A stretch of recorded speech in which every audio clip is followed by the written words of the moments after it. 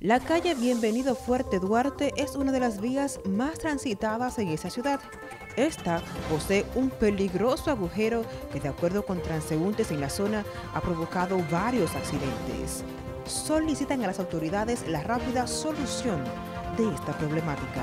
Ahí se han partido piernas, personas y se han matado gente ahí. Los vehículos se les parten los amortiguadores.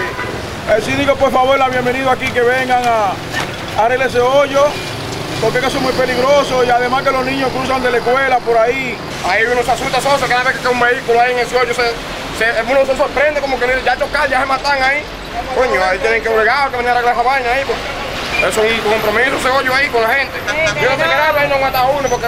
Giovanni Cordero, NTN, su noticiero regional.